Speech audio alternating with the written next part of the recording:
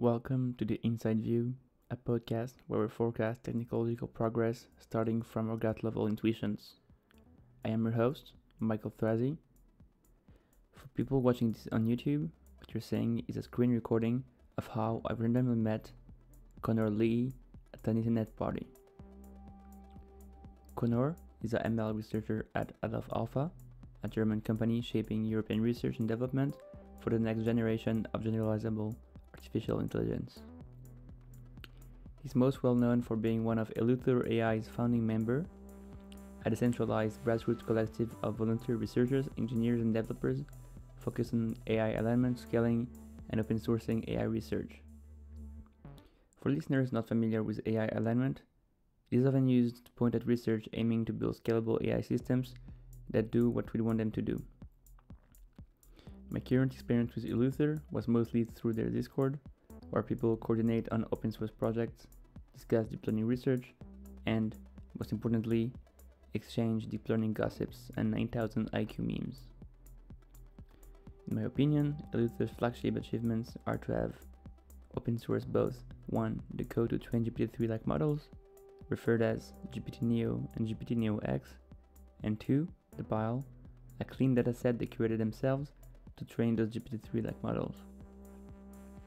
In the first part of the podcast, we chat about how to speed up GPT-3 training, how Connor updated on recent announcements of large language models, why GPT-3 can be considered AGI for some specific definitions of AGI, the obstacles in plugging planning to GPT-N, and why the brain might approximate something like backprop.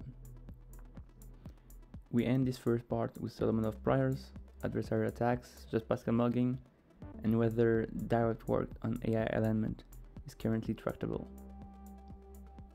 In the second part, we chat about how these current projects at Eleuther multipolar scenarios and reasons to work on technical AI alignment research. Without further ado, Connor Leahy.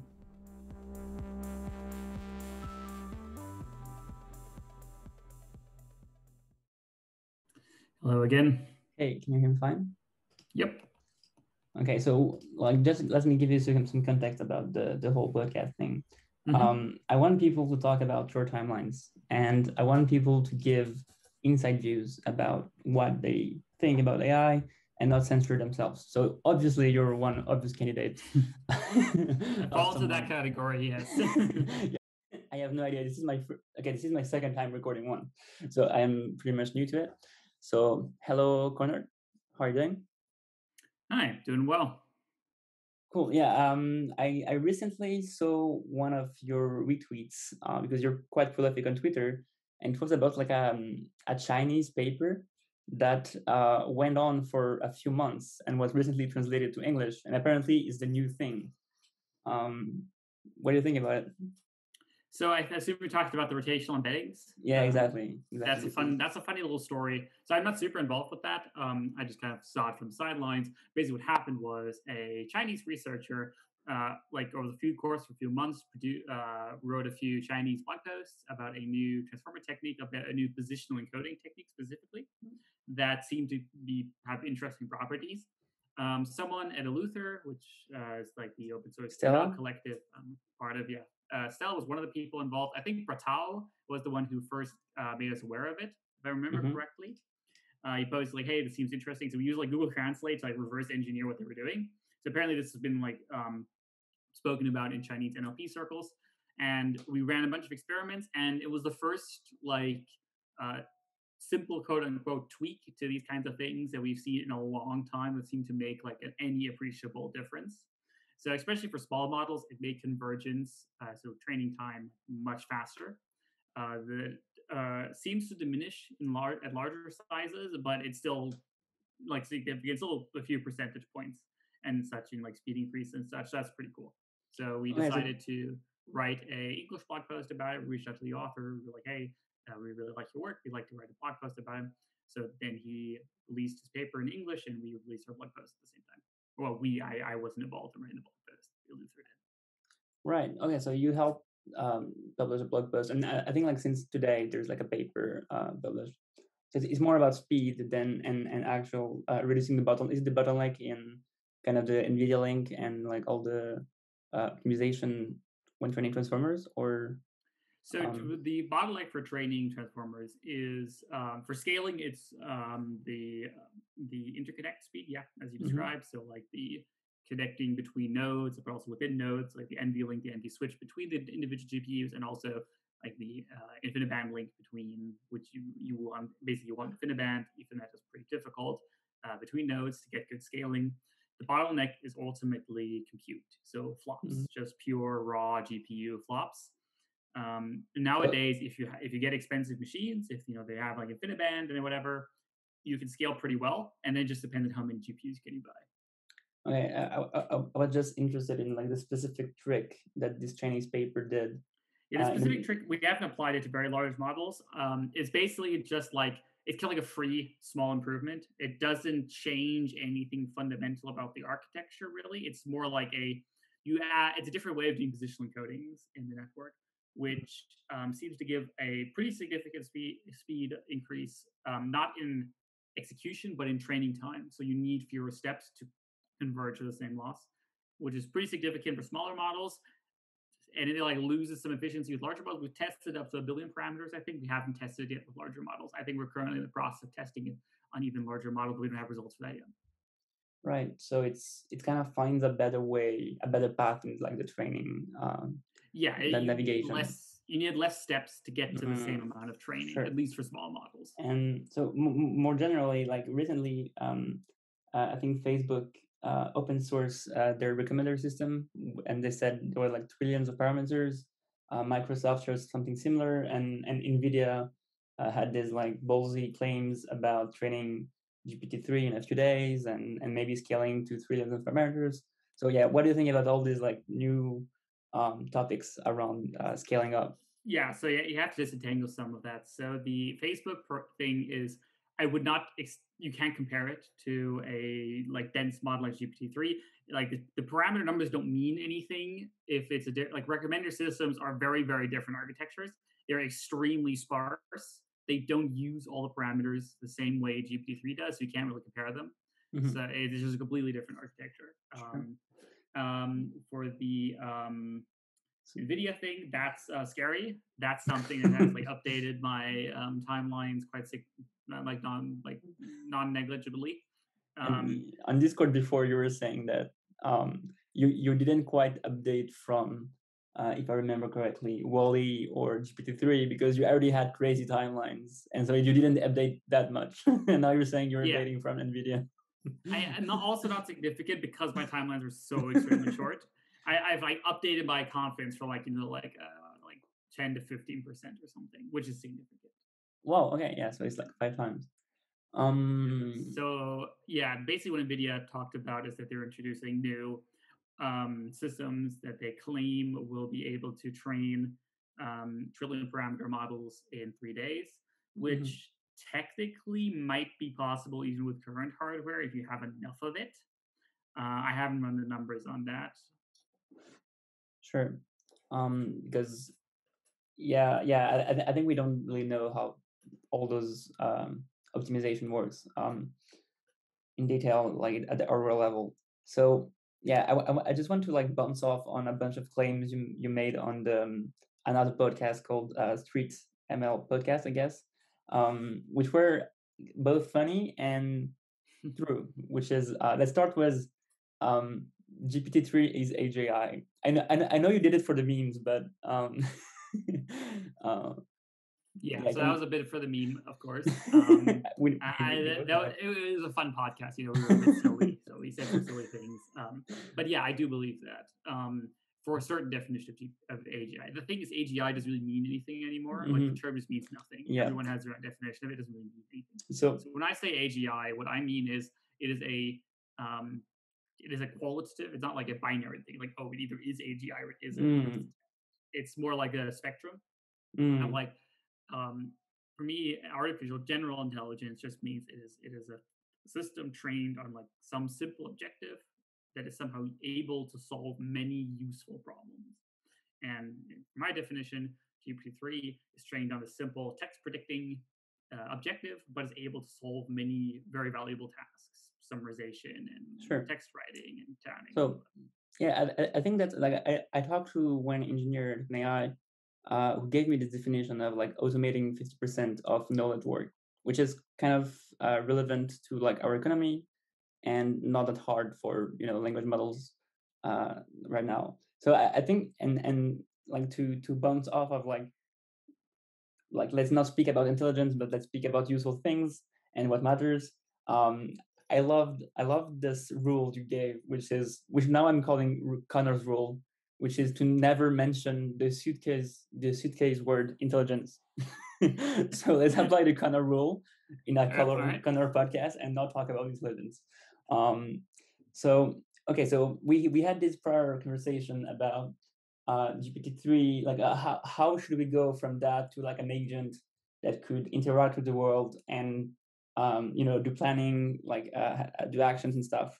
And I remember you saying um, that one of your crux was so a crux is for people who are not familiar with it is a fact that will change your mind about um, about the world uh, if it happens or not. So a, a crux um, Connor had was whether um, reinforcement learning, um, the part where we try to um, merge GPT-3 with some kind of reinforcement learning agent uh, was not the hard part, and that the hard part was actually coming up with like this transformer architecture which can scale a lot.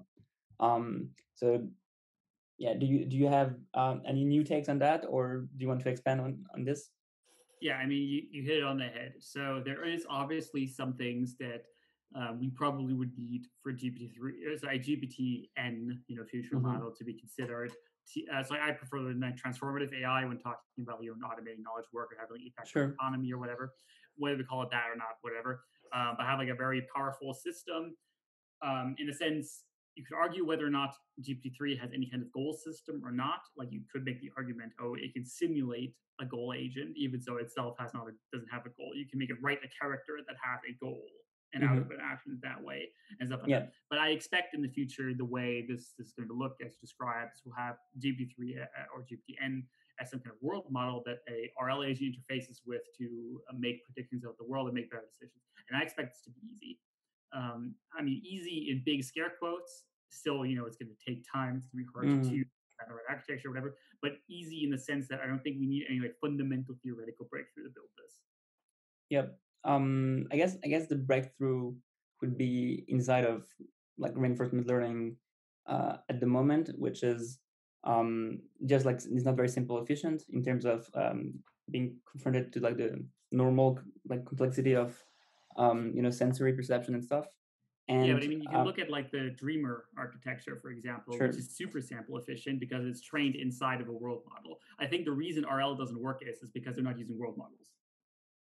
interesting. Yeah, I, I I need to look at look more in, into the paper. Um, yeah, it's to like model-based reinforcement learning has becoming more and more popular lately, lately and Sure. I expect that to continue. Um, But- but still like the um, the actual you know world model like the the, gif that i remember of like in, in dreaming of uh, uh, like uh, driving a car um it's still like a few actions like maybe you can go left and go right um when, when you're trying to like ask a world model um when you try to like do prompt engineering and talk to like a language model like your action space is is huge right? So even if you're a bit more sample efficient it's still very hard Well, it, it's pretty clear to me that prompting is an inferior method of how to use these models. So one of my hot takes or one of my cruxes here is that I actually think GPT-3 is much smarter than people think it is because of the task it's actually trained on. I, I conceptualize GPT-3 as an extremely intelligent model that is pretending to be a median internet user. yeah, So yeah. I think that the way that inside the model is actually like a lot of useful information that you it's like hard to get or like you know a prompt doesn't necessarily um able to extract easily. And we've already been seeing this with like prompt tuning and whatever that like continuous prompts that are like trained through backprop Yep. whatever that we're getting better and better techniques to get better and better performance out of these models. So I, I expect there to be, so I would expect the reinforcement learning agent to not literally give a natural language query to the model, but rather to have like a differentiable um, interface with its Right. hidden states. Okay, so so you're essentially saying that uh, like language, like human language, is a bad way of interfacing between uh, you know AI models, which exactly. is yeah yeah this is pretty yeah I agree with the claim. Um, and um, and yeah, you you also said in this other podcast that um, humans were not yeah Voldemort like the, the world we're not uh, able to say they're not intelligent. um, and and also that um, we're like humans are approximating GPT-3, not the opposite. So yeah, can you go more uh, on that because I found it fascinating.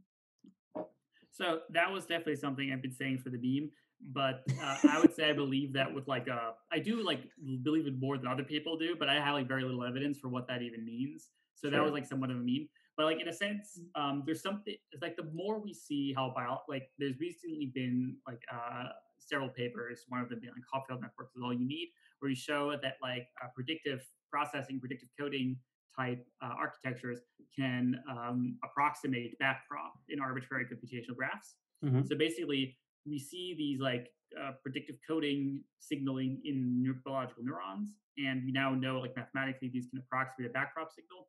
And just empirically, we've seen many many times that like if you um, uh, try to implement like biological um, constraints that exist in biological networks. Um, they often, they, they generally don't outperform a pure backprop. So my current working model, my work, working hypothesis is that um, is that the backprop is not literally implemented in the brain, not because backprop isn't good, but because it's like not feasible because of hardware constraints. Is that um. if the brain could implement backprop, it would just implement backprop. So because backprop is so perfect, because we can implement it in our GPUs, is actually a more pure version of what the brain is trying to um, approximate. So I actually interviewed um, uh, Friston one, one time about this too, mm-hmm. and I asked him, "Yeah, what do you think about backprop?" He said, "Yeah, it's all ends up to be the same thing. It's all minimizing free energy and vari- uh, variational uh, Bayesian models." And whether or not you believe Friston on this card, or would think it's trivial, which which which Friston? Uh, Karl Friston. Okay. He's a very famous neuroscientist who has a kind of like a unifying theory of the brain, which is also kind of trivial, but also super complicated. It's a long story. But basically, his whole point is that although the way the thing the brain does is it it minimizes variational free energy of a Bayesian model, which is a very fancy word of saying it minimizes loss of a predictive model. Sure. Yeah. Um, and whether you do that with backprop or predictive coding or some other algorithm, it doesn't really matter. They're like all in min, not like literally equivalent, but they're like they're all approximating some kind of like Bayesian update and backprop seems to be a especially pure like especially efficient way of doing kind of like mm-hmm. approximating some kind of bayesian update at least for the kinds of systems we use so what i meant by that statement is basically saying i think the brain may be trying to approximate a like a numerically pure backprop but has to do all these hacks to because um, you can't have you know 32 bit floating point numbers in neurons. It's just not there's too much noise. So you have to do like all these like error correction and all this like fuzziness. But then there's like also like um, physical um, you know tension electricity being continuous. So it's it, it, it also has more flexibility flexibility than us. Like it doesn't have those problems of you know numbers becoming too small and like a, um, a double approximation. Um it has also like more flexibility on some points uh, do you mean the brain yeah or I disagree. I think the brain has less flexibility than we do. The brain can't represent an arbitrarily precision number. It's all there's too much noise. The brain can't uh, show arbitrarily large or small numbers. You know, you can't just have a neuron sure. encode an arbitrarily large number or an arbitrarily small number. There is a in many ways. If you just look at neurons and just like look at them, you know, spiking, it's pretty obvious to me that they're trying to approximate a digital system that's the whole point. It's trying. It's not a, mm. an analog system. And if there's one thing we've learned from the history of computer science is that analog systems never work out. Is they always sound great on paper, but they never work. We always default back to a, to a digital system because they work. Digital mm. systems are just because of the error correction effect of um, these things. You don't have these compounding errors that you get in analog systems. And yeah, what about um, like where? What, what about quantum physics? Like maybe maybe there's something well, the brain is a huge wet mess warm mess. This is the worst possible scenarios for quantum effects to have any meaning. I see there's currently no evidence whatsoever that the brain significantly exploits quantum effects and even if it did um, i don't see how like you can't have any long-term entanglement so it might be like some kind of like small effects on like protein levels But I mean, quantum isn't magic either. It's just, that Sure. would just get, bring us from the P class Yeah. of complexity to to BQP, Yeah. which might be. I mean, I can imagine if the whole brain was at you know zero Kelvin and was an extremely complicated you know matrix of superconducting circuits. Okay, then maybe there's some quantum effects going on, but I don't. I can't see how a quantum entangled state Sure. would not decohere in a system like that. makes sense. Um, yeah, I, I was just trying to think about um, like the the best steelman like counter arguments. Like, what would be like something that would make you change your mind on like um, like a brain approximating some other function. Um, so yeah, maybe it's something like in the space of quantum computing, or maybe maybe backprop isn't optimal. Yeah, what would be like like the best steelman of the other position? I mean, it's it's less that I'm saying is approximating one specific. It's more like in my is that all these algorithms kind of collapse to the same thing. It's like whether you use quicksort or insertion sort or whatever sort. you know, At the end of the mm-hmm. day, you're sorting the list, and there's many different ways you can do it depending on what hardware, what your data looks like, whatever. So. I think what the brain is doing is, to a large degree, at least what the neocortex is doing, is that it is building predictive models of its environment it's it's it's you know it's it's minimizing the loss of a, something like Bayesian var- variational Bayes model of Mhm. its environment. Whether it does this literally sit through backprop or literally through predictive processing or whatever is kind of just an implementation detail. Like what Mm. these Hopfield paper showed us is that they're mathematically they all kind of average out to the same thing. So is it it- uh, okay? So are we saying kind of that they converge towards what would be uh, through Bayesian update from some kind of Solomonoff induction, and they try to like update, update towards um, and, and and like backprop is um, maybe the easiest or um, elegant way of appro- uh, approximating some Bayesian reasoning at some point. That's my work hypothesis. So I mean, Bayes is like provably the optimal way on updating your Mhm. information. We don't have to bring Solomonoff into that. I have some spicy opinions about Solomonoff we don't have to get into. Please give me give me the spicy. Give me the spice. I think Solomonoff is inco- mathematically incoherent. I think it's actually not like it's an interesting idea to think about, but I don't think you can draw as many conclusions from it as people think you can because you're basically my my um this should be Connor's law. The minute you introduce a halting oracle, it's no longer true. it's like you know, it's, it's y- like y- you're not allowed to introduce a halting oracle. That that's just it, it's verboten. That's like introducing a you know p equals not p. You know, you're not allowed to oh, do Oh, that. You you mean because he, he doesn't consider halting oracles, or, well, no, or the- and the problem is that to, Solomonoff induction is fundamentally not halting. It is halting complete. To to actually execute or to, to get the distribution of Solomonoff, the, pri- the Solomonoff prior can only be computed by a halting oracle. It cannot be computed in finite time. And that and there's a big difference between something that takes uh, infinite steps or takes you know, arbitrarily many steps and Mhm. something that takes halting steps to do. And Solomonoff is, takes a halting oracle to be able to compute because it's you know it, it's running over universal Turing machines over all possible programs, and many of those will not halt. So, to, in order to get the distribution over the non-halting programs, you need to have a halting oracle. yeah, I need I need to look back into the paper, but I, I kind of I kind of remember from his first paper on that, uh, I think 1969 or 1960, 70, sorry, he was definitely trying not to go into uh, not halting territory, and like he like says, we're going to like take only um you know um Turing machines that halt. Um, Yeah, but there's no way to prove whether a Turing machine halts or not. Like, but if you give if I give you an arbitrary Turing Sure, machine, sure, there's no yeah, way yeah. you can prove it. So you That- can never construct this system. So like, I'm a constructivist. I think so. Like I re- so okay, this gets us into deep math logic. Whenever Mhm. I reject, for example, the law of excluded middle. So like, there's in, in in in classical logic, you have the like you know either p or not p. I Mhm. reject that. I think that's not true. Um, and because basically with that you introduce a hor- halting oracle into your uh, logic system, sure, and okay. you also introduce Gö- Gödel incompleteness.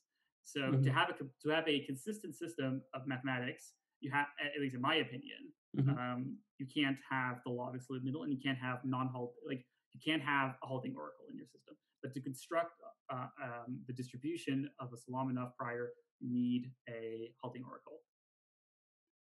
Oh, okay, okay, okay. Um, I think I think I get what you mean. I need, I need- I need to reread the paper to understand it better. Um, And to be clear, I'm not an expert on this. I just, you know, I'm. This is just my intuition and what I've picked up from learning and reading about this kind of stuff. mhm, I also think the the universal prior has like probably very strange properties that we actually don't want our agent to have. Also, there's the problem of the choice. So this might be the a less weird explanation of why I think Solomonoff prior is incoherent. So Mhm. I think Hutter actually recently released a paper on this, like Mhm. 2019, that you just to define your Solomonoff prior, you have to define an, a universal Turing machine. But there are infinite possible universal Turing machines mhm. and your choice is arbitrary. So there are infinitely many possible Solomonoff priors, and they can, and depending on your choice of Solomonoff prior, you can your agent can actually your IT agent can actually perform arbitrarily bad on any distribution. Interesting. Yeah. Um, like So that's why I say it's incoherent because like Solomonoff claims there is one unique true universal prior, and it's not Mm. true. There are infinite of them, and none of them is privileged over the other. Sure. Okay. Yeah. I, I see. I see um, where you're coming from with this uh, Marcus paper.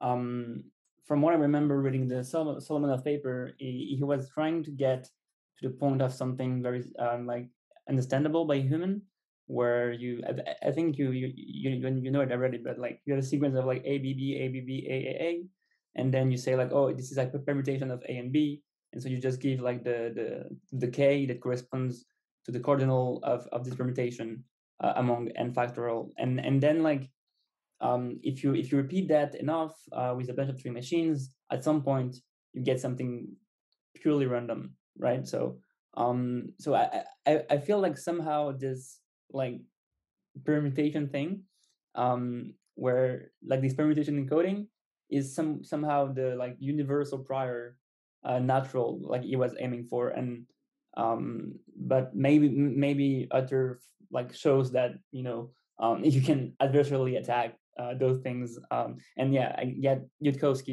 uh, showed that you can mug you, you can do Pascal mugging and, and so on. Um yeah and, and like did you like are you actually concerned about Pascal mugging or uh is it for you like a like a funny thought experiment I mean, uh, Pascalian mugging is kind of like a spectrum. Like some people say climate change is a Pascalian mug- mugging, technically, you know, because like someone comes Mhm. up to you and like, hey, 50 years, the world's gonna burn, so you know, pay me money to reduce CO2. Is that a Pascalian mugging? I wouldn't think so. I think that's just reasonable, you know, thinking. Mm, yeah, So- just sorry to interrupt, and just like to introduce to like listeners that are not familiar with that, Pascal. Maybe you can like re-explain what Pas- Pascal mugging is. Um. Sure. So the Pascalian mugging is kind of like a a- like a thought experiment where someone comes up to you and gives you some really ludicrous um, scenario that you think is like really unlikely, but threatens that the scenario will be like extremely bad unless you do something for him. So the classic is like you know a mugger comes up to you and say, "Hey, I'm actually God. Um, I'm going to create infinite people that suffer infinitely unless you give me five dollars. So you should give me five dollars." One, one one important point though is that uh, they're not saying something very weird. Um, where um, because like in in, in Yudkowsky's claim is that um, they say I'm going to give you three uh, arrow uh, arrow arrow three uh, dollars, or I will kill three arrow arrow three people, which is um, uh, um, notation for saying very very big numbers, um, and those numbers are actually very high in the um, Solomonoff prior because you can build a simple Turing machine that compute those. Uh, but they're like so big that like even if you consider every possible scenarios and you try to like say make uh, give a probability to like this guy saying the, the right thing uh in expected in expected value because your prior is so high compared to like this claim you will say like oh i need to give money to this guy um and Yeah. so the, in my in my understanding for ai um so the general claim is like if when we have a prior like imagine like even if we have like transformers or like other architectures and they have a prior of all like what's reasonable and they do planning is there a way to hack them with something that, that has high prior for them and and will trick them into like believing it's very high expected value right um I mean, that's what adversarial examples are in a way. You know, you Mm. can find like weird permutation of images that trick the the the network to be like super confident of like something. Yeah, exactly. similar idea. mhm.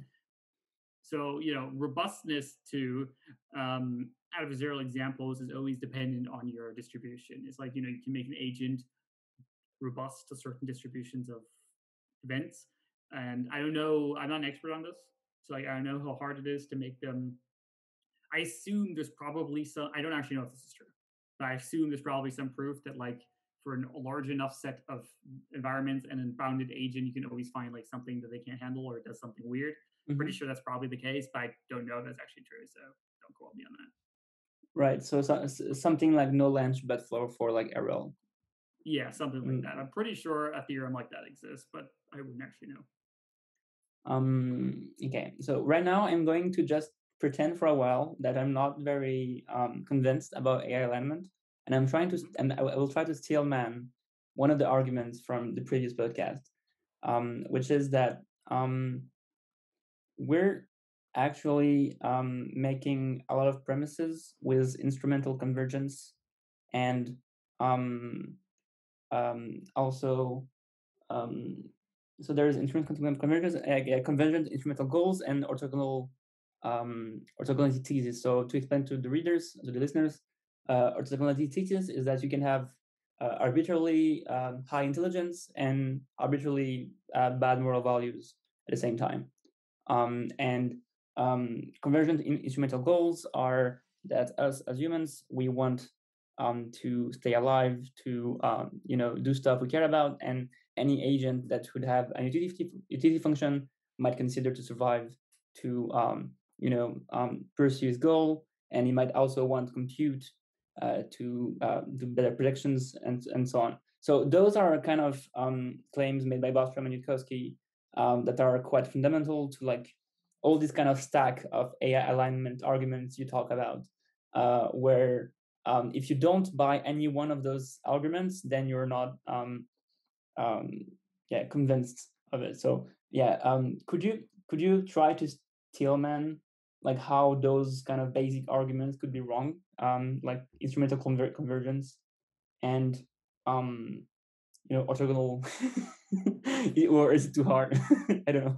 so I don't think you have to buy every of those arguments to be concerned about AIs, especially nowadays since we have like a much wider field than just you know a few people on a weird transhumanist trans uh, you know a mailing list back in the day. As for we now, you know, we now have a much wider swath of people care about these things and finding like real arguments about it. It's like it's hard for me to steel man some of these arguments. Uh, some of them I can like some of them kind of make sense, but they miss the point. So like a, a, like an argument that is valid against the orthogonality thesis, a version of the orthogonality thesis that I consider a straw man, is some people say, well, you know, an, like a very stupid agent can't have a very complicated goal. So technically, you can't have any agent with any goal. And like, okay, fine, but that's obviously missing the point of the thought experiment. Yeah. So another version, so like the only steelman I could think of. Um, I'm sorry if I'm doing a bad job. Uh, this is the best I can do. Um, one is is that people believe in strong moral realism. So people believe if you just create something arbitrarily intelligent, it will just all converge to the same morality and just become good. So this is something you hear sometimes among the transhumanist folk or like singularitarian folk. They're like, oh, the AI will just be so enlightened and good. It will know what the correct thing to do is. Just do that. Like um, Schmidhuber also has a version of this. So that's one possible argument. Um, like, another can, possible argument. Hmm? We could say that somehow like um like Kolmogorov complexity and like we can kind of have like more like um you know doing good is maybe more simple than um you know um torturing a billion people with uh, weird dreams uh the so, simplest scenario is just to maximize entropy and everything just destroy everything. That's the simplest policy just a random policy. Everything else is more complicated. So yeah, that's like what Yudkowsky calls the hidden complexity of wishes, or the like the fragility of values, is that what humans want is actually really complicated. That's why we need energy to yeah, we're it's a very low entropy state in which humans exist, in which there is value or art or beauty or anything other than like a finely diffused plasma. Mm-hmm. Everything that's not a finely diffused plasma is a complicated state and requires like very energy to maintain we're all they were moving towards heat death of the universe. Everything's going to be a very fine, you know, mist of black holes and protons and whatever. in, into infinity at some point, and everything else requires energy to maintain, neg- or neg entropy in that sense.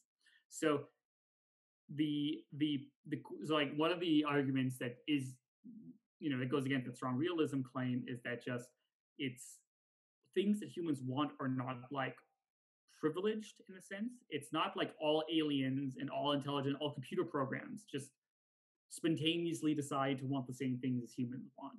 That seems pretty outrageous to me. Like, why would that be the tra- case? Like, I could just mm-hmm. literally just write down a program. If what human want, do opposite. Like, you know, I could I could just write that program, and that that's an existence proof that I can write an AI that does the opposite of what humans want, or you know, so something random, just like if action do random, you know, and there you go, you have a random policy that has no human values it. So I don't believe the strong moral, moral realism but, but, claim of strong moral convergence. So so your your program if if you were to program something that says um, do what the human doesn't want then it should like kind of include everything the human wants. And so it, it would kind of have the understanding of human values even if it doesn't follow it but it would have the understanding of human values. It might have an understanding yes but it would not execute them. And honestly sure. and that's what i care about Mm. I, I, don't care if the torture AI knows I don't want to be tortured. If it's torturing me, it's not. I want it's not torture me. Let's not do that. I don't care if it's not smart. If it's if it's you're dead. exactly. It's like that's the strongest argument for AI alignment. The kind of argument is always just like I don't care if it's conscious or if it's made sure. of a neural network or a fucking Prolog or whatever. I don't care. What matters is that we're building systems that can make good decisions that can optimize their actions to achieve goals in complex environments. Mm. How this is achieved and whatever doesn't really matter. Yeah, we, just, we could just say by fiat assume an optimizer exists mm-hmm. that can be given a goal and will optimize for it. You accept that, that this is just possible at all, which is the entire field of AI. Like, if you're working in AI and you don't believe this is possible, well, what the fuck are you doing? Why are you in this field? The whole point of AI is to build AI. Why are you here? No, I, I, I thought that AI was you know something that played chess and do, did funny tricks on the internet. Yeah, but um. it, I mean, yeah, but that's the AI effect. People used to say, "Oh, the minute it can play chess, that is real AI." Then I know, I know. Like, oh no, no, no, and trolling, and trolling. Yeah, I know, I know, I know. I'm just saying, like for the audience, maybe they've heard sure. that. It's a very common thing. It's like I think so, I think it was Stuart Russell who made who made this interesting this good point. It's basically um, the whole field somehow has this huge blind spot of like what happens if we succeed? Like what if we just yeah mm-hmm. succeed? Somehow no one's thinking about this. AI mm-hmm. alignment is about just taking seriously what if our things just actually work? yeah, yeah. I remember. I, th- I think he, he, he said he says this on on multiple talks and also um, in his book. Yeah, what if, what if AI succeeds? And then like it, it, it asked the actual AI researchers to to think about wait what what do we do now and they're confused exactly um, it's very strange for me so that's why I find it very hard to steel man these anti-alignment arguments because I don't really understand. Like some of these people seem to believe that AI is just impossible, which I is very strange to me. Then like, why do you work on AI? Like, mm-hmm. what are you doing here? And some people seem like unwilling to accept even the hypothetical like mm. okay well assuming you would succeed what then? Some people so or sometimes people say oh that's 100 years away but even if it's 100 years away i still think it's worth thinking about. Sure I, I guess i guess my intuition is that people are like prefer thinking about things that are that make them happy um, okay, yeah, of course. I, I was trying to just take outside view. Sure, Inside sure, sure. view, those people are all fucking liars, or like at least lying to themselves. Um, know? Well, yeah. Let's try not to um, say bad things um, about most, like on about most. People. I think most people are genuine. I think most mm-hmm. people are very genuine in this regard. I think mm-hmm. they've just never thought about it really, mm-hmm. which is strange, but it's just how the culture of the field works. Mm. I think the vast majority of people in AI just never really thought about it much. And, and, and maybe there's like, as you say about optimization processes, um, you know, society uh, doesn't optimize for people saying their true beliefs on the internet because their careers will be ruined. So most people yeah, are, are censored, and maybe a lot of them read LessWrong and think like you, uh, but they're not incentivized to, to say it yeah, there's a great saying: uh, "Never trust a man to uh, believe something or to to know something eh, or understand something if his salary depends on not understanding it." Mm-hmm. and I think that's a common dynamic, is that these beliefs are associated with a dude that wrote a, a 2000 page Harry Potter fanfic. So it's kind of like a low status thing. You're not allowed to talk about these things. Um, sure. Okay. So, So- it's, it's it's it's like uh, kind of signaling your low status to quote um fanfic, either uh, compared to like quoting NeurIPS papers. Um, yeah, exactly. It, it, it's like uh, AI alignment didn't come from the academia establishment. It didn't come Mm-hmm. from the serious people with serious titles. It came from a dude, you know, and like five other, and you know, a bunch of other people on a mailing list in the early 2000s. And um, one of the things that's just extremely important to understand about humans' work is humans take status extremely seriously. Wait, wait, wait. W- w- what about quantum physics? Like it also also like came as something very weird, and like those were like smart people with, high status, like Heisenberg, and and Well, like he was yeah, but- friend with like all the all the top guys in physics, Yeah, and and and, that's like what that's and they was had a, a huge debate, and and nobody like they were arguing forever. So like even with high status people, you can argue. Yeah. So it, it's not necessarily contradicting contradicting your point. It's, it's more like another example of um, strange idea that kind of um, where, where people could talk about it. Um, Yes, still. and I, I expect alignment. It's already in progress. Alignment is being accepted into the canon of academic thought because it's obviously a good thing to be thinking about. Like you know, with Stuart Russell and other professors starting to like explicitly talk about it mm, as an acceptable thing. There's a I forgot who wrote this, but like I remember reading a blog post or maybe some I, I don't remember what it was. Maybe it was a tweet of someone say that you, you always want to be the second person to to like discover something because like the first person to come up Sure, with it, the second yeah. person is doing the one to like publicize it, and then Mhm. what you ever actually what you want to be is you want to be the first professor to notice it. You want to be the first high status person to notice it because you don't have to. Because even if you say, "Oh, this was all invented by this other person," no one's going to quote them. They're only going to cite you because you're the high status person. yeah, I, I guess I guess we have those like high status professors. Uh, we have Stuart Russell, Lee Bostrom, um, but Yud- Yudkowsky didn't didn't get the the whole the, the whole credit. Um, I- I have like two two other things I, I want to talk about, um, which um, is of specific interest to me. Is that I think I think like to, to make a transition, um, what Yann LeCun like if, if, I try to steal money Yann LeCun, it um, he says something like, um, how could we possibly align those uh, very smart agents if we don't know anything about them. And uh, it would be like um, trying to change the sex of an angel or something. Or um, and and somehow, um, if you think about it, um, there is like some kind of uncertainty about how much we can influence the future. Like um, like the the, the steelman of like people in the, in the, industrial revolution. You're brought like 200 years- years uh, back. Like, what do you do to like uh, have a powerful impact? Uh, 200 Well, I years. mean, I can ask a simple question. Do you think Marx had any influence on the current time? yes. He lived in the industrial ages. Do you think he had any influence? I think he had some influence. but like like okay so, but what was his marginal impact so like imagine marx didn't existed how many years would we wait before someone like marx says something similar I don't know. I can't rerun history, but it might have well never happened, or we might have had a completely different ideology that had like some that filled the Well- same niche. Maybe fascism would have just taken over the entire world, and that just would have so been it. Yeah because know. it, just like somehow I, I- at some point i thought that like bostrom's book about superintelligence was very influential as it motivated people like um, elon musk to take in, to take it seriously and um, it has some very positive impact. So I, I considered like writing those kind of books to be huge impact. But after thinking more about it I, I just realized that you know we're whole humans with similar ideas. So like like if bostrom hadn't wrote it like maybe someone else would have like three, three years later. So I would greatly recommend you read a book called Inadequate Equilibria by Yeah, I- I read it. So if you've read it, I have no idea why you're making this argument because the world is not efficient. okay and okay ev- okay and- okay and i this get is it. not we are not efficiently exploiting the maximum research you could do on AI alignment or the best books. oh yeah yeah yeah. We're not we're not we- we're we're hundred percent So in that sense, every marginal Yudkowsky or Bostrom get is a huge net oh yeah yeah yeah. It's it's huge uh but it's not like as huge as like like comparing zero to like this. It's like huge compared to like winning two or three years or, or four or five years which is which is still huge.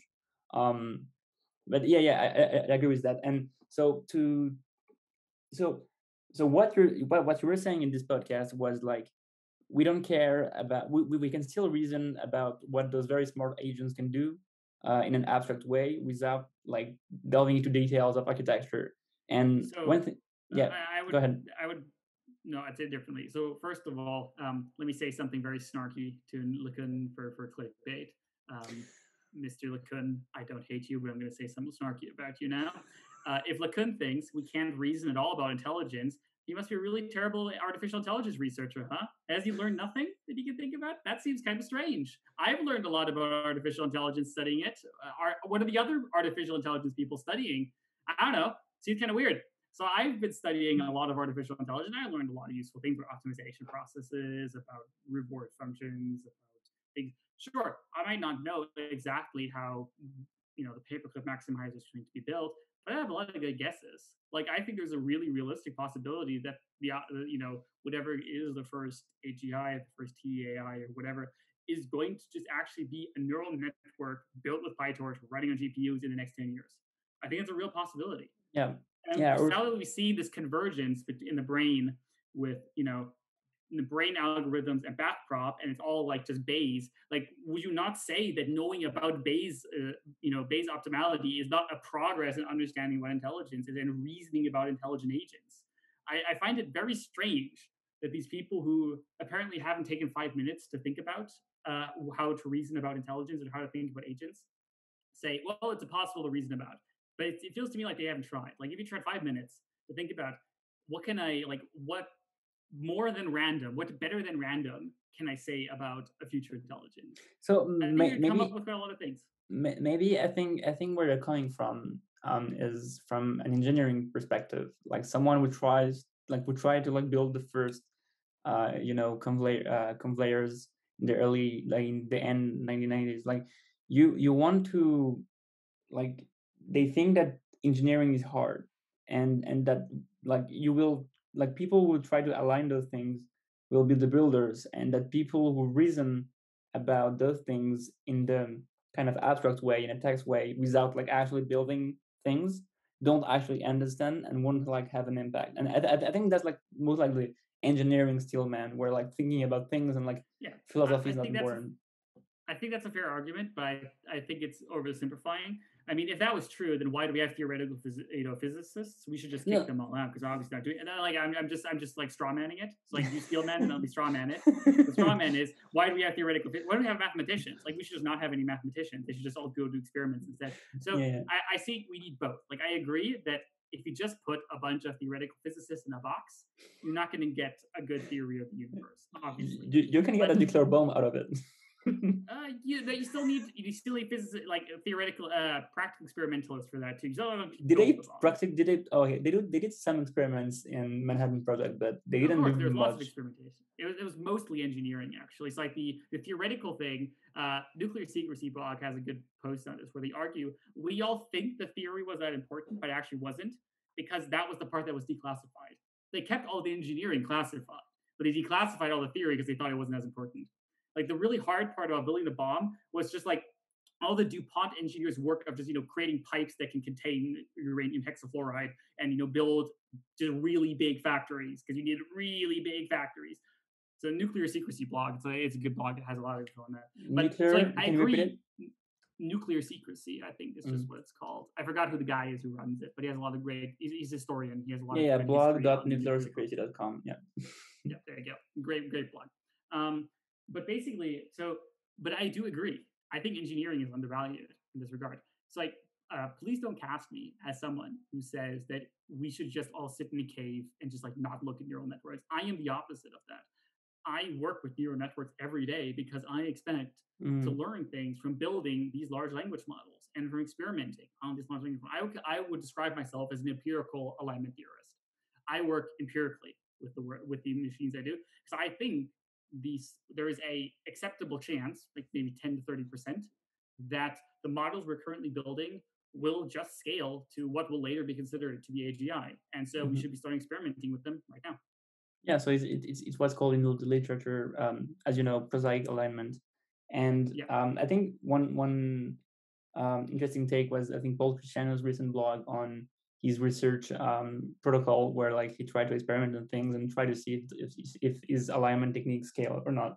But at one point I, I saw you're making um, about reasoning about um, not experimenting, but like um, the usefulness of math in thinking about agents was that um, there, there was like this base of like decision theories, which is quite large.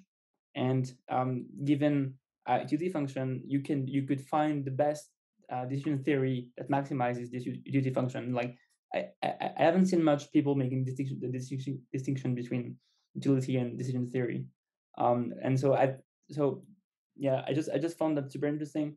I, I don't know how much we can apply that for um, you know like yeah, I don't have a precise question about it. I just found this that interesting. If I have, if I could, I would, if I could just take MIRI, you know, and put them in a cave for ten thousand years and just like did extract papers from them. I would prefer, I would love to do that before we did to build AGI, just to see what they find. You know, I don't know if decision theory research is going to lead us anywhere, but I think it's worth exploring. The same way exploring, you know, abstract math and Bayes theorem and quantum physics is useful. I, I see like I think decision theory has helped deconfuse a lot of questions. So hmm. MIRI has this great blog post where they say questions start as philosophy, then they become math, and then they become engineering. Mm-hmm. First, you ask yourself the question, what is even the question I'm asking? What are we even interested in? Then someone starts hacking away at that with math. They start doing models and systems and like, you know, like toy experiments and whatever. And then an engineer takes the math and actually turns it into a system that runs. And this is a process I think happens in most scientific disciplines. So decision theory was an attempt to go from philosophical experiment with what does rationality mean to turn it into math. And now with and now AI is the engineering part of taking decision theories and whatever, and this inspiration, not literally implementing them step for step, but taking this inspiration, taking Bayes as an inspiration for how these things might be able to think. At this point, Connor had to leave. So what you're about to hear the second part, which happened one week later over Twitch. During the first 10 minutes, I unfortunately forgot to check if Connor's voice was being recorded, so the start would likely feel a bit abrupt. If I recall correctly, I was prompting him on Eleuther AI's current projects, and especially his involvement with EEGI, or Eleuther experiments in general intelligence. Back to our main program. More towards human values or just being useful in different ways. Um, so far, not much has happened. It's most of it's been kind of like you know me and two other people, kind of mm-hmm. private chat. Um, uh, but we're trying to move this into a more open state. We also want to work more on interpretability, so like understanding what these models do internally and mm-hmm. stuff like that. Um, I want to make this all open source, all open in Eleuther, so anyone can work with me. I expect in the near future there's going to be work there to be done. Um, at the moment, not really. It's like soon TM you know, like keep an eye out if you want to work with me on that. Um, we're mostly going to need ML engineers probably, uh, but also some web dev work. Though we do already have some great web devs ML, working with us. ML engineers is quite uh, a broad, uh, you know, range of people. So maybe more like deep learning engineers that can do TensorFlow mesh well, no, we don't use TensorFlow anymore. It's all PyTorch. Like, oh, it's PyTorch now. Okay. It's and all PyTorch. We have, we have we have left G- TF, uh, TF, TensorFlow behind and do not look back. Oh, cool, cool. So PyTorch on this uh, new sponsor, um, right? Yeah, Hardware. so we have a lot of GPUs from them that we do most of our experiments on. So as I said, the work I'm doing with EGI is still very early stages, mm-hmm. like very small models, just trying to experiment. Yeah. Um, if you are, if you, the listener, are um, a experienced ML engineer or someone who has experience with high performance computing, please consider contributing to NeoX. NeoX is a huge data uh, is a huge you know code base that uh, there's a lot to do. Uh, Sid does a great job of keeping issues up to date on the GitHub repo, so you can just check out the GitHub New repo, X. look at the issues, and you can also hit up uh, Sid or me or Stella or anyone anytime, and we're happy to get you into the code base.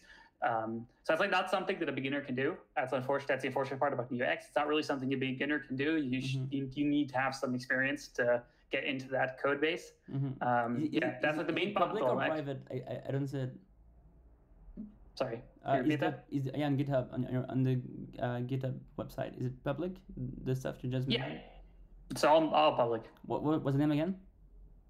Uh, so the NeoX rep, rep, you mean? Uh, so if you go to the if you go to our website, you can click on the NeoX link, and it will get you to the website to our GitHub repo where we oh, have okay, all of our code. Oh, okay, okay, okay, sure, sure. Um, yeah, let me do that. Oh, it's not important. Um, okay, and and so yeah, so this EEG thing, so to to call um to frame it for the listeners is experimental experiences. No, it's uh, Eleuther experiments in general intelligence. General intelligence, yeah, right. It's just a funny name I came up with. Yeah, yeah, it's pretty, it's pretty cool. It's a bit like EEG, but like for AGI, right? Yeah. Um, yeah. And so you, you're starting from this paper, uh, I, I, guess from Paul Christiano or the OpenAI team, mm-hmm. on yep. learning to summarize from human feedback, right? Exactly. And so our, fir- our first step is going to be replicating the results of that paper mm-hmm. kind of because I think they use very interesting techniques that I expect to scale and like a lot of variants of those techniques that I want to experiment with. And mm-hmm. so we're trying to first get our feet wet, you know, get the um, get this set up, try experiment with like models and yeah, take it from there. Sure. And um, well, I see you have like already a website it's called I think it's like Eleuther dot uh, something. Uh, maybe like NLP. Okay, I'll let me find my notes. Um, yours is called eegi.eleuther.ai, where you actually have something where you can pick some summary and then you can like give your feedback, right? So like kind of yeah, that's, that's experimental. Feedback. That's also experimental. So nothing, nothing for the public yet. Um, that's down the line. At some point, uh, what we hope to do is is to create uh, have an interface where you where we have users directly interact with these models and give feedback on their performance. Mm-hmm. So like we'll have the the the model summarize text or chat or perform other activities, and mm-hmm. we'll have users rate their ability, and we're going to use that feedback using some advanced methods to try to improve their performance for the users um, application, you know, whatever they want, you know, whatever the goal is that we're working on. Mm. But that's down the line where it's very experimental, you know. Um, talk again in a few months. How many months? All depends on what you want to see. So I expect that we should be able to replicate the results of the paper, at least for the smaller models, in the next like I don't know, maybe one to two months, uh, depending on compute availability and like how big the models are, and there's other things. Um, making it more open to the public and like you know training uh, individual models, we'll have to see about that. Um, it really will depend on like how much working NeoX needs, how hard a few technical challenges are going to be. But I expect in about like six months time, I expect us to have some really cool results to show. That's kind of my timeline right now. It's like six months. I think we'll have some very cool things to show. Cool. Yeah, because I'm, I'm super interested in that because um, I think I think uh, yeah uh, mixing RL and and NLP is the way to go. And I, I love this approach with uh, just like learning um, human preferences from feedback on, you know, is there is this a good uh, upper uh, backflip? You, yeah, yeah. So exactly. This paper is good, and and so if we consider now that NLP is the most scalable way into AGI, then it makes sense to kind of align align it and and make some kind of RL feedback loop.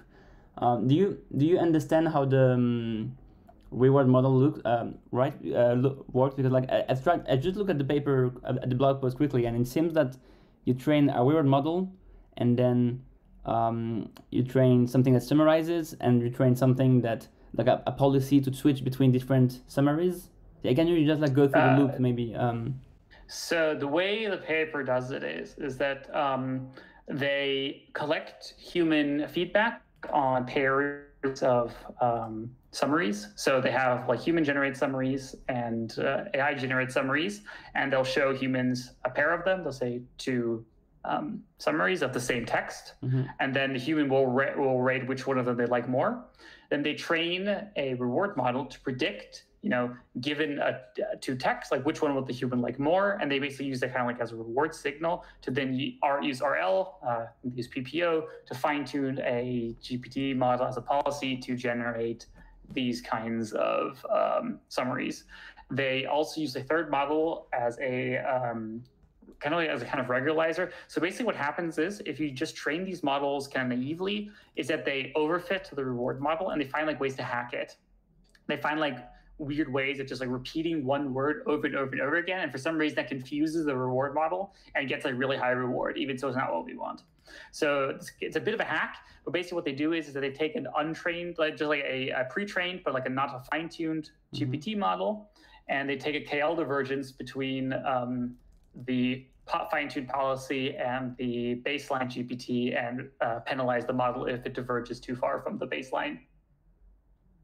And okay, and so they give it uh, like ba- bad reward, or yeah, it's basically is that if the, if the text is too weird, if it's too far from normal human text, it gets a negative reward for that. Okay, okay. And that that encourages it to stay kind of within the bounds of normal human language, instead of you know producing this one token that it just like repeats over and over or something like that. Hmm. And Okay, so how much compute would that need? Uh, because there's like the whole uh, uh like uh, how much compute did OpenAI use, right? Um, a lot. So the OpenAI. so like currently we don't have the kind of compute laying around that would be needed to fully reproduce, especially for the larger models. It is a lot of compute that goes into these kinds of things. That's why I'm taking it slow. I'm not like committing to any timelines too much because this will depend a large degree on compute constraints.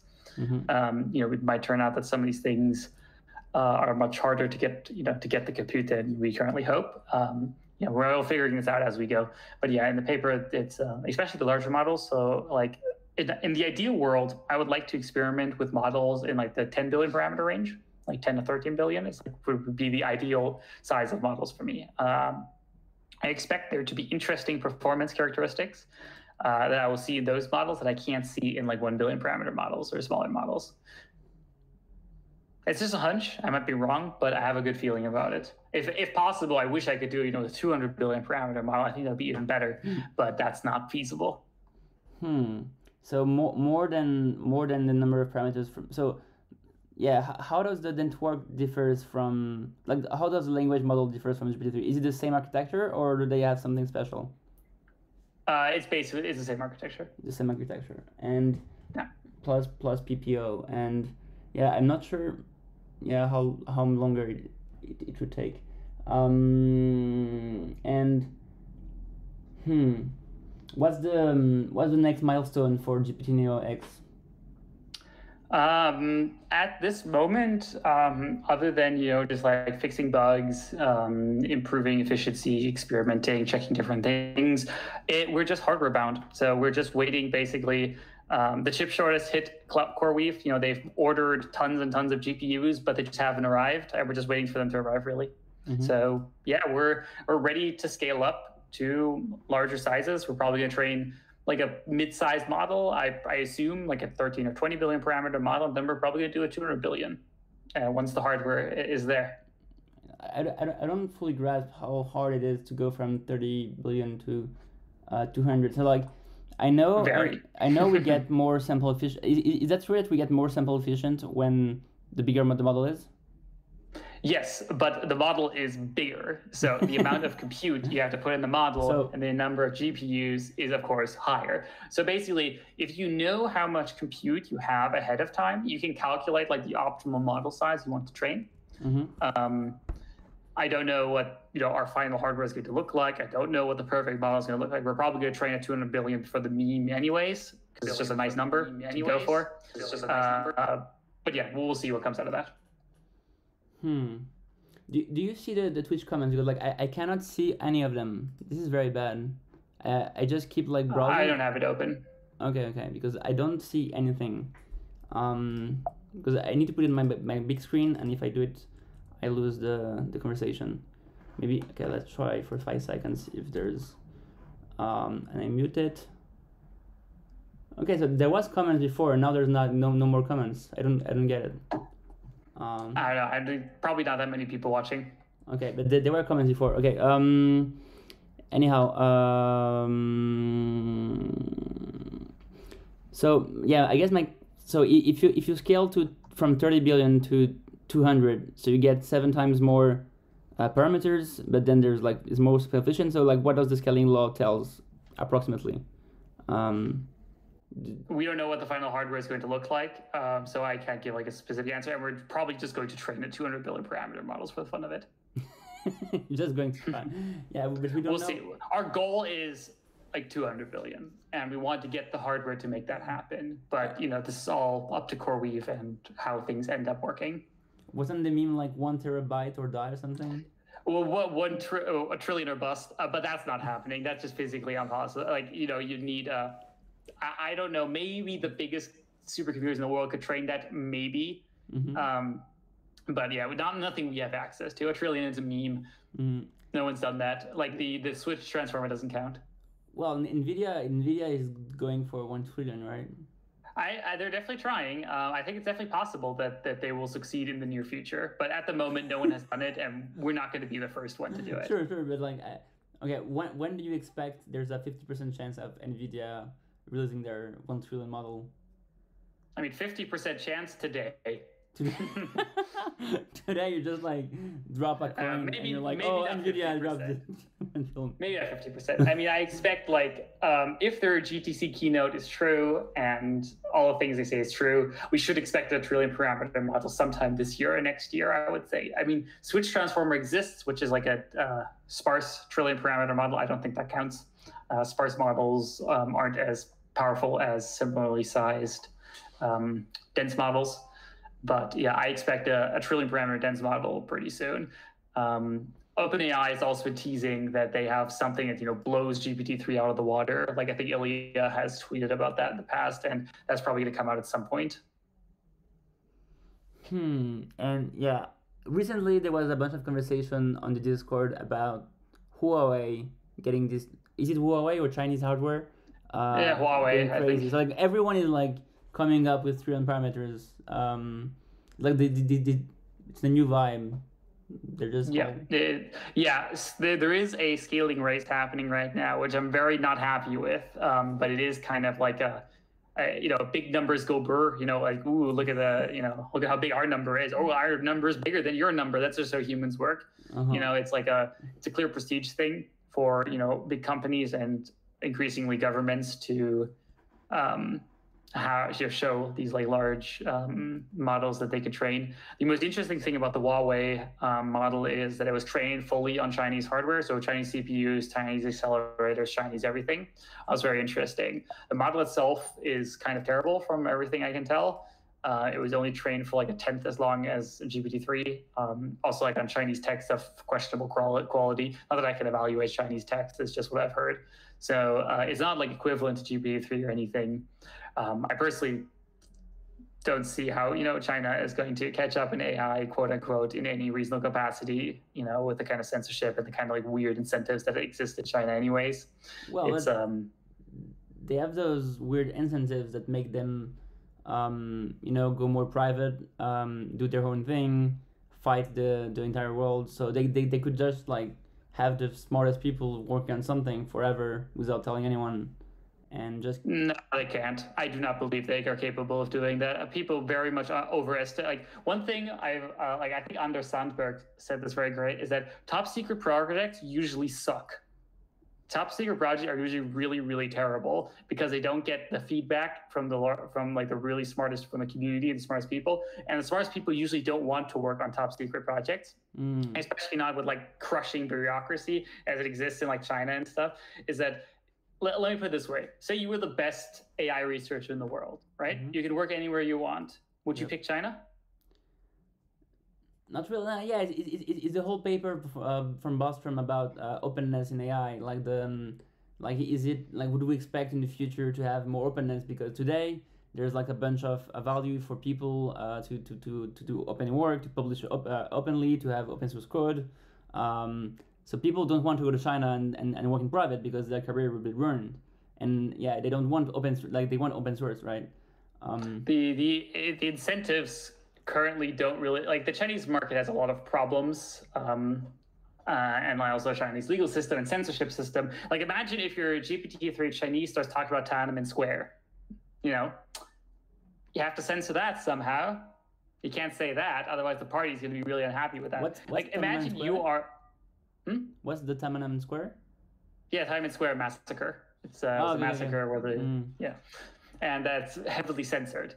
And obviously, a GPT-3 model, you know, would pick up on that unless you do extremely heavy censoring, which would completely gimp the model's performance. I expect. So I think it's all a joke. Like eh, eh, people who say, "Oh, China doesn't, you know, has so much data and they don't care about price," it's all bullshit. Mm-hmm. It's like it's such a you know clusterfuck of bureaucratic nightmares. Is that like it's it's way easier to get a huge data set in just you know being in America and just googling things.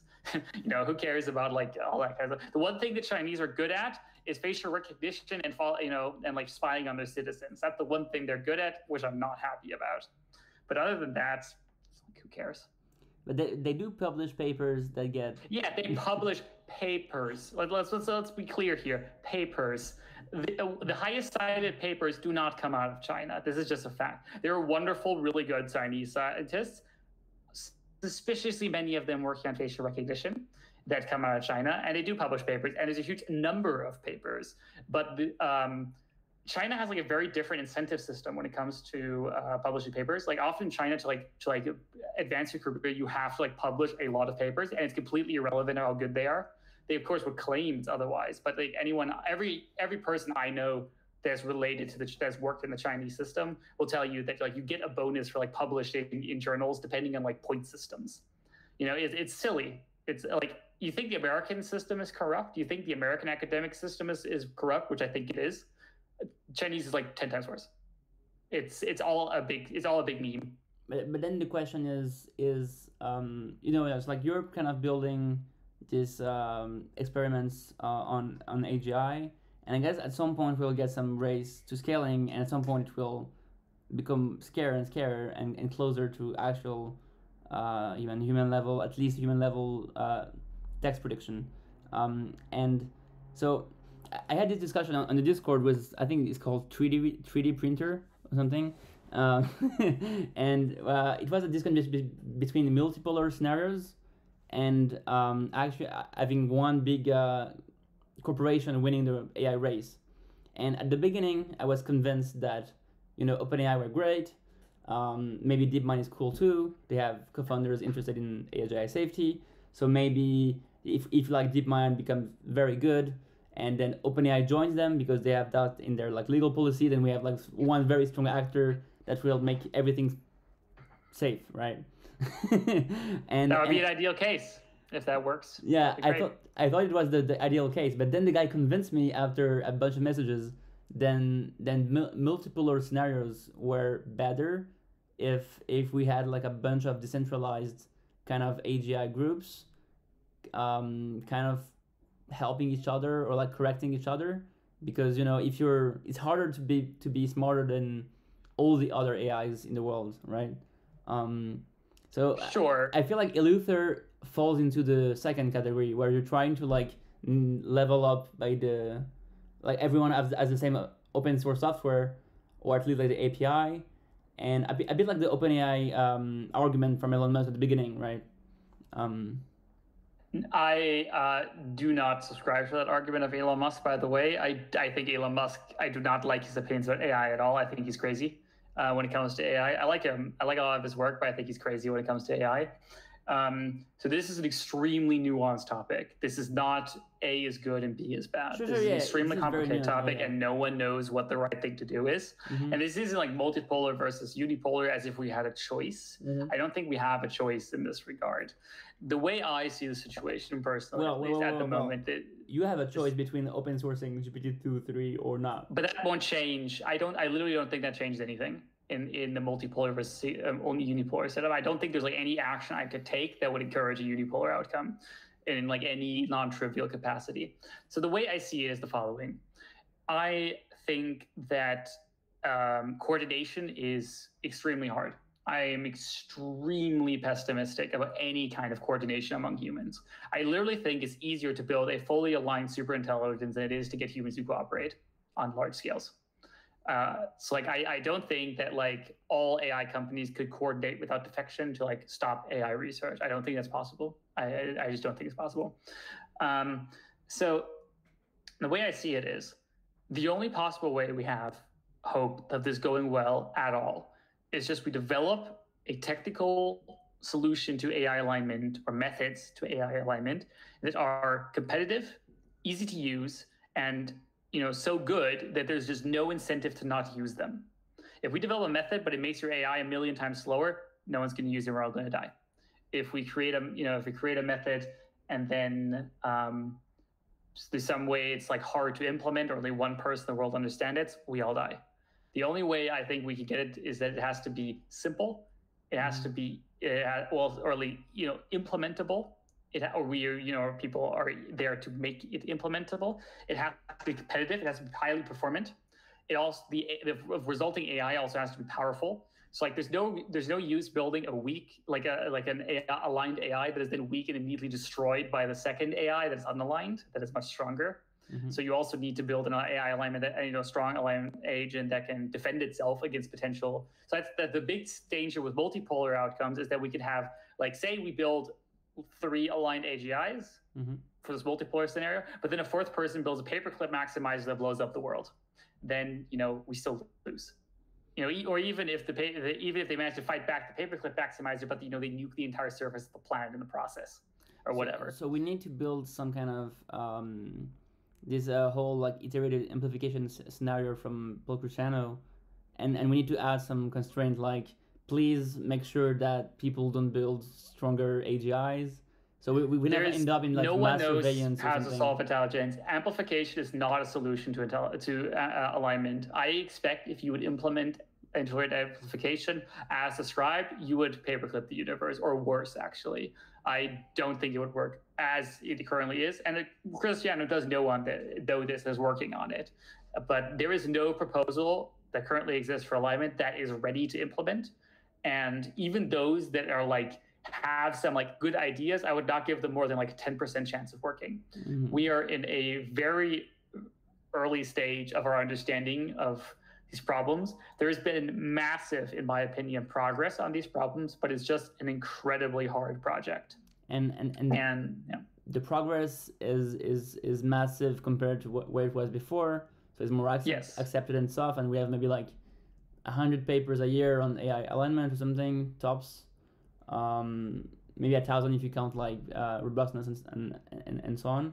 But then, um, but then there's like these massive companies like Huawei, uh, Nvidia, and like throwing like b- millions and billions of dollars at, at this research, right? So I, I, I don't know if AI alignment is scaling as well as much as the rest of the economy, right? We don't need AI alignment to scale. We need AI alignment to work. It, it we need a solution to alignment. It doesn't matter how many papers we publish. It doesn't matter how much funding it has. What the only thing that matters is is that we have a understanding of the problem and a solution to the problem that people building the AIs can build. My hope for things to work is is that no one is incentivized to build an unaligned AI. You don't win by building like if you build an unaligned AGI, you get fucked too. Like no one wants to build an well, unaligned AGI. They're like but what's happening? killing people with but, shotguns, right? I'm sorry, what was that? Sorry, uh, pe- people do kill other people with shotguns. Like they're like some evil people trying to just fuck up the world. Well, yeah, okay, but I mean, if those people be the AGI, we're, we're like super, super, triple, quadruple uh, fucked. You know, if people build a military AI, AGI, we're so ultra, mega, super giga fucked. Eh, there's like, you know, like I don't even think about those scenarios because we're so fucked in such situations. Like if if things like go super multipolar and we have like World War Three and there's like take like decades of like military AI development, we are so ultra giga fucked. Like I, I it's like not even worth thinking about because it's like I don't even know how we recover from such a scenario. Like if so, eh, like eh, governments like build AI AGIs that will be optimized to kill humans. Like, could you imagine the horror? Like, like the unimaginable, like hell, like literal hell on earth. Well, I'm just like, I'm just thinking about like not someone someone some not like everyone can do it, but you know, some Connor that tries to reproduce GPT-2 in 2030, some someone else is like, oh, I'm going to try to reproduce this AGI paper that I'm not allowed to do, and you know, tries to run it, and um, if, if, if like you know, did the saying by Yudkowsky, like AG, um, the IQ to create AGI drops by one uh, every year, kind of the similar thing. Uh, so if you have an IQ yeah. of 150 in 20 years, then you might be able to do it by yourself, or yeah I, I guess it's just who I expect like the um, I expect the end era of humans to end very shortly after the first AGI is built or the first TAI is built. I expect humans to not stick around for very long. Um, Why? Because like we, expect, because we get uh, we get like neural implants or or AI. Yeah, like in the best case scenario, I mean, the average case scenario is a paperclip maximizer. Like the average, I expect, like on average, like civilizations like ours in this situation, probably on average paperclip themselves. They create an AGI, it's like unaligned, and it just you know splats the you know takes apart the entire Earth for resources to build mm-hmm. something. It doesn't hate humans. It's not evil. It just doesn't care. Mm-hmm. I think it's the default scenario. I think some minority of civilizations in our scenarios build demons, they build chaos gods, they build evil AI, like military AI that like tortures people, that like you know creates mm-hmm. simulations of uh, you know tor- terrible situations or whatever. Something's called suffering risk or mm-hmm. S risk. Yeah, yeah. That's what I'm most worried about. And some people, some civilizations manage to get alignment right and to create like you know these like angelic super beings that you know can bring you know peace and harmony and solve suffering and all these extremely hard problems and then expand on into the universe. If we get alignment right that's what we get. But that's not the default scenario. Nature is allowed to kill us. We're allowed to lose. We're not the heroes in a novel. We're not predetermined by a script to win. We're just jumbles of atoms. We're just a civilization like any other in the universe we can lose and we will lose if we don't get this right. If we don't solve the technical problem in time, we build AGI and we don't get an understanding of how to align it, that's it. Game over. So do, do you think do you think the the Great Caesar is ahead of us? I don't know. I don't know, but at the, at the current moment, I would say I'm more optimistic than I was a few years ago. I feel like progress and alignment has been a lot faster than I expected it to mm-hmm. be. So, but that means like I updated from say 5% success chance to maybe 15% success chance. It's possible. And it doesn't mean not to work on. There's literally no reason not to work on it mm-hmm. because the alternative is we were fucked anyways. So why not work on it? And it's also a fun thing to work on. I enjoy working on alignment very, very much. Mm-hmm. And if it increases our chances even marginally, I mean, what else are you going to do with your, you know, like it's just the obvious thing. It's at least for people like me, I think it's the obviously correct thing to be working on. And I think there's hope. There is a chance um, that we get this right. I personally like skeptical these like intermediate scenarios that I think like Christiano and other people take very seriously. I was like like CAIS, like you know, comprehensive AI services scenarios and whatever, where they say mm-hmm. like, okay, we have AGI, but it's like neither super aligned or like super unaligned, or like mm-hmm. this like intermediate thing, like humans stick around. I don't think that's gonna happen.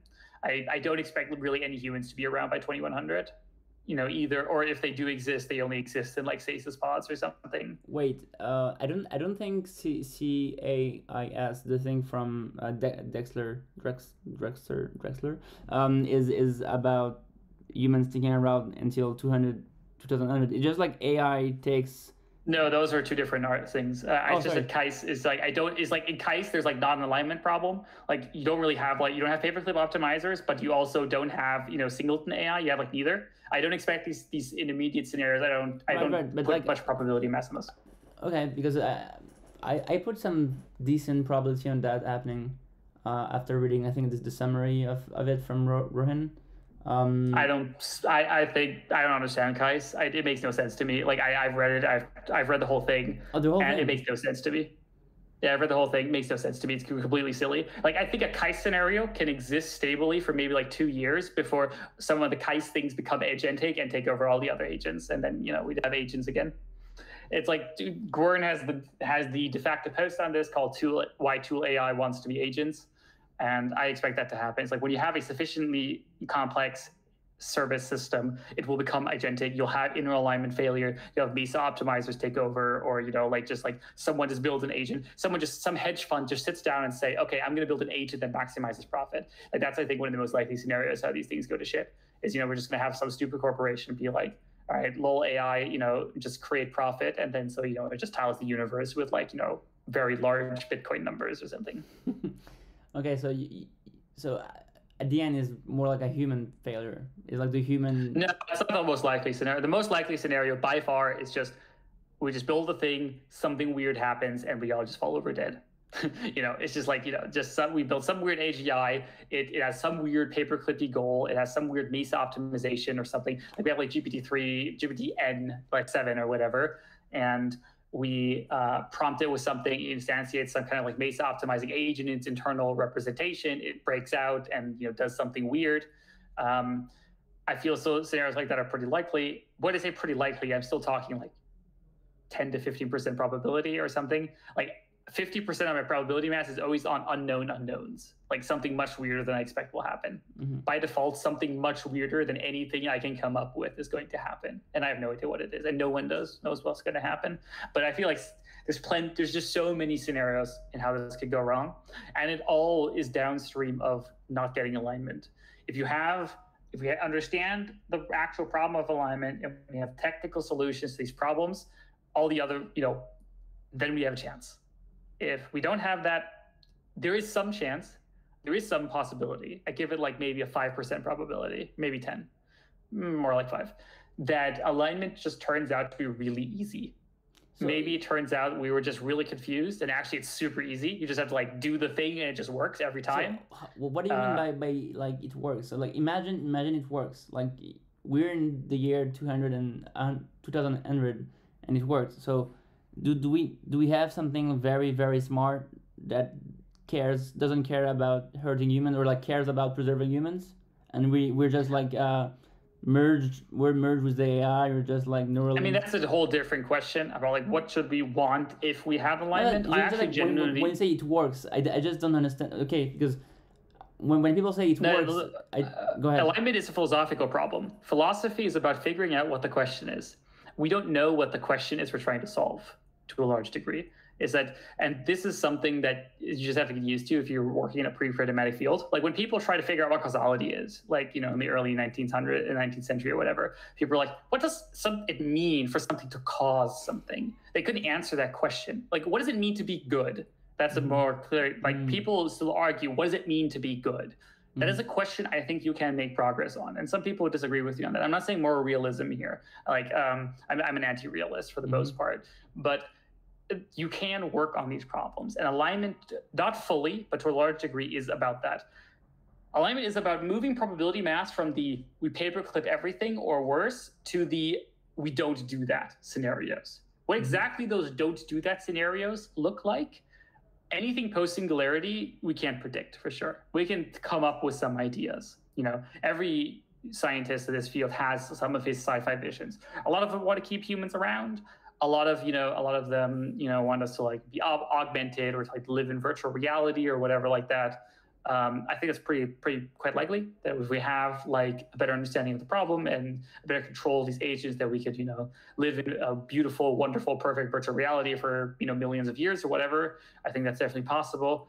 I'm more of a um, I guess feed the utility monster type person. I'm like why keep humans around? They're inefficient. Just create beautiful virtual minds that experience infinitely more pleasure and happiness and meaningful lives and so, think much more beautiful thoughts than humans do. Why keep around the humans? Seems inefficient.